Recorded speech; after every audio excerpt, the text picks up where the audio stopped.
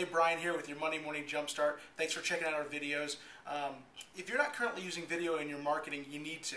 And if you need help doing that, come see me. I can definitely help you out. Um, here's your Monday morning tip. You can send this tip to your friends, family, and coworkers. And it's just a little reminder that uh, about you and your real estate services during these holiday seasons where business tends to be a little bit slower. But if you could be top of mind, um, it could really go a long way come January and February when people start looking to buy houses again for the spring. Um, and here's your tip that you can send out to your clients.